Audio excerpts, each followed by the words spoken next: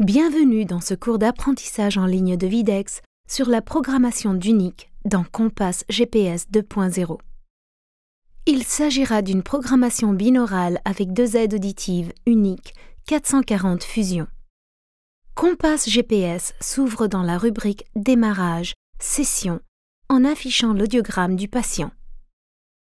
Sélectionnez le bouton Connecter pour détecter les aides auditives. Définissez ensuite les aides auditives droite et gauche en utilisant les numéros de série ou en jouant une tonalité à l'aide du bouton en forme de note de musique.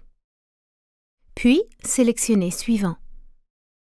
Si aucune aide auditive n'est détectée, parcourez la checklist affichée sur l'écran pour solutionner le problème. Puis, utilisez les listes déroulantes pour sélectionner les options de l'aide auditive. Celles-ci varieront selon l'aide auditive utilisée. Dans ce tutoriel, nous choisirons le RIC avec écouteur M, un dôme dur et personnalisé, et utiliserons la taille de l'évent par défaut.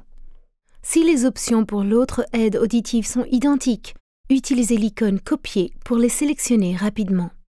Si ce n'est pas le cas, utilisez la liste déroulante pour sélectionner les options. Les réglages de Compass GPS doivent correspondre aux options actuelles de l'aide auditive. Lorsque vous avez terminé, sélectionnez OK.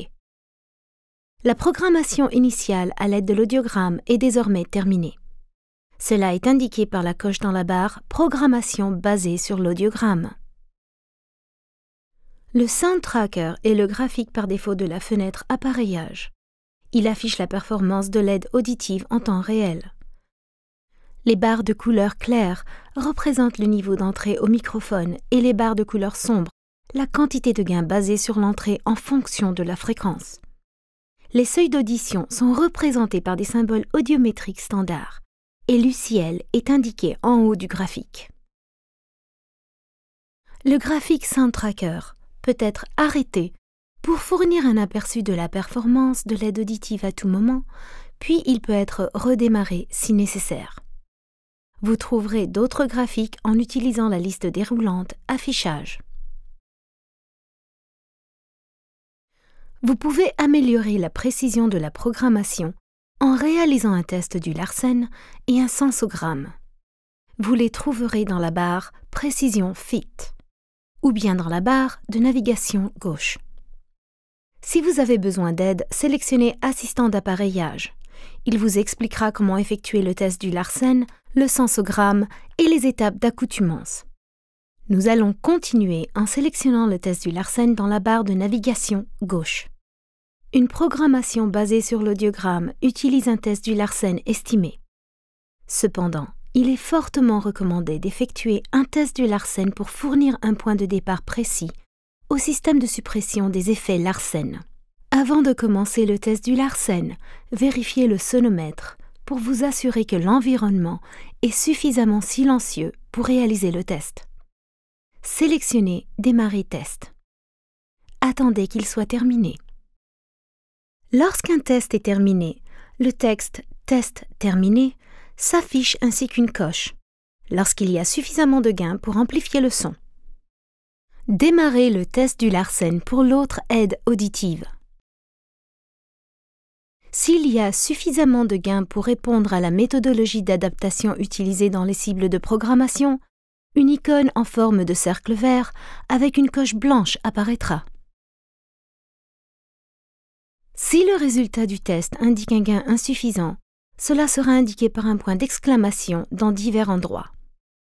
Passez la souris au-dessus de l'icône pour voir plus d'informations et consulter les solutions possibles. Puis, sélectionnez Sensogramme dans la barre de navigation gauche. Le sensogramme pour unique a été revu pour aligner les fréquences test audiométriques standards.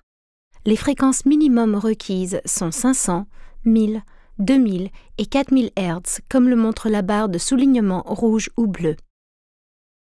Mesurez les seuils du sensogramme à l'aide de la procédure de mesure audiométrique préférée. Par exemple, commencez par cliquer sur le champ 1000. Le seuil de l'audiogramme y sera ajouté.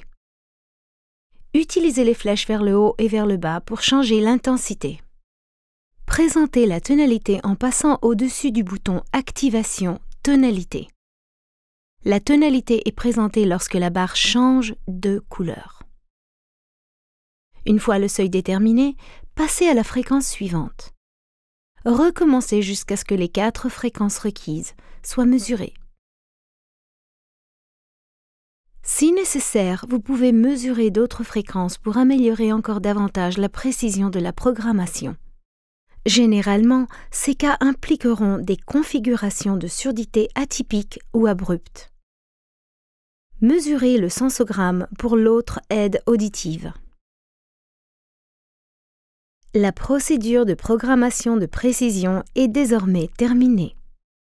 Continuez en sélectionnant Aperçu dans la barre de navigation gauche. Vérifiez les deux coches indiquant que Précision Fit a été effectuée avec succès. Si vous avez besoin de plus d'informations, vous pouvez vous référer à la rubrique Aide de Compass. Il suffit d'appuyer sur F1 ou de sélectionner l'icône représentant un point d'interrogation en haut à droite. Merci de votre attention.